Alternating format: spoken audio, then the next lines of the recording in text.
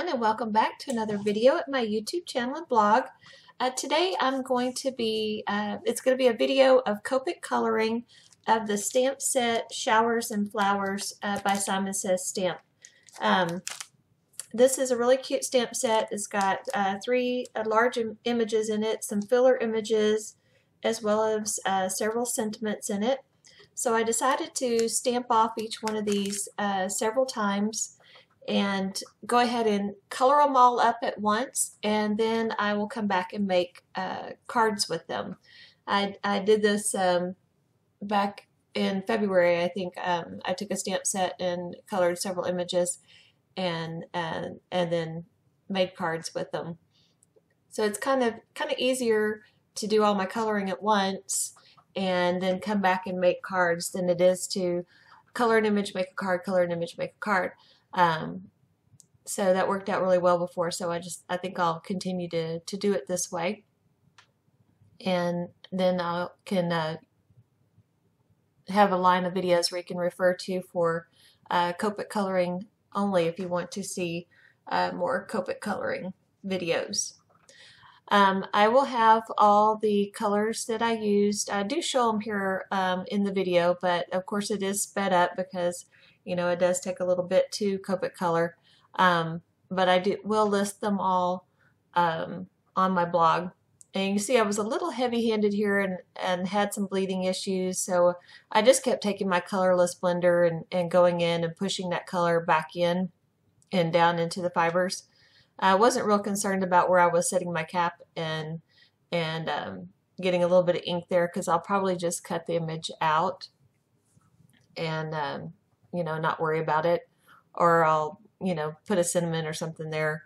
Um, so I wasn't real worried about that. But um, I did use my colorless blender to push that blue back into the lines. Like I said, I was a little heavy-handed and um, got a little much ink in there and, and it bled out a little bit. But that was easy enough to fix. Uh, now I'm just going in, doing some flicking motions on my little duck here and um, getting him colored in. I'm going to use a really light yellow so his, uh, his belly is uh, real light and gives that good highlight on his belly. Um, my flicks didn't give as much texture to him as I wanted. Um, oh, here I am going back in again and doing some cleanup. So I'm going to take some blender solution on a very textured little piece of rag and just blot it over it and that'll give um, the little duck some more texture. And it did cause a little bit more bleeding outside the lines but um, I'm going to let it dry real good um, and then I'll come back in with my colorless blender again and uh, clean up those edges. So I'm just giving him some pretty little pink boots. I'm making making him very colorful but still trying to keep it um, a pretty simple color palette. You, you don't want to introduce, you know, too many colors and, and make it too busy. Um, so I'm going to try and, and limit it to, um, you know, the bright blue and the, and the pink.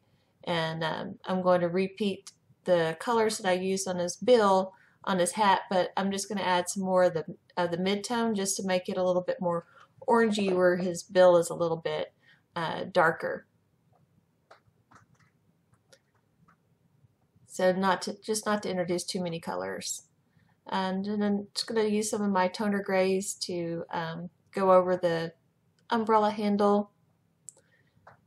And um, after I color this one, I'll show you my other one that it's uh, colored as slightly different, basically using the same colors, but just um, using more or less of the um, different shades. And so it makes it a little bit different. I'm taking my Uniball uh, white Signo uh, pen and uh, just adding highlights and then quickly saw the the, uh, the other little duckling there. Um, here I'm just going to take my grays and uh, basically just kind of have a couple of white rabbits and you do uh, white by shading with gray and so I'm just using a few little gray markers and just some flicks to go in and put the shadows in. I didn't really do anything with the tail because um, in one of the recent kits that I got with was some little bitty um, pom-pom balls and I think I'm just going to put one of those little pom-pom balls um, on his tail. Uh, I thought that would be really cute. Uh, so I don't, you won't see me really do anything with his with his tail. So just um, going through all my grays, and then I'm going to take my colorless blender to help uh, blend it back to or out to white. And um, you see it looks dark all over, but that's just because the paper is wet. Once it dries, um, then it, it'll be uh, very light colored. And again, going back over and uh, blending out to white. And just darkening up his nose and his eye. Think I'll show that again later. You saw me wearing a sweater. Still is kind of cold here in North Texas on some days. Um, it's been a very cool spring for us. So I'm just making some red boots here, some red galoshes. I uh, wasn't sure what I wanted to do with the spots on the boots. Um, they're they're pretty small to try and color around them. So you know, I thought, well, I, I could, you know, put a color over the top. You know, go in with a darker red or something.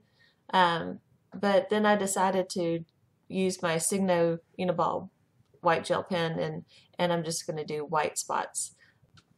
You know, I've discovered that it's very hard to talk about coloring for um, almost 11 minutes uh, straight. You kind of just kind of run out of things to, to say. I think guess that's why Kelly Latevola tells stories um, while you're watching her Copic color. Or some people just turn on music.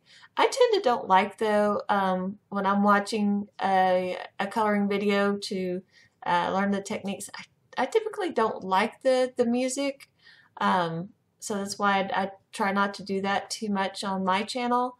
Um, but I'm not real sure if I've got interesting enough stories like uh, Kelly has.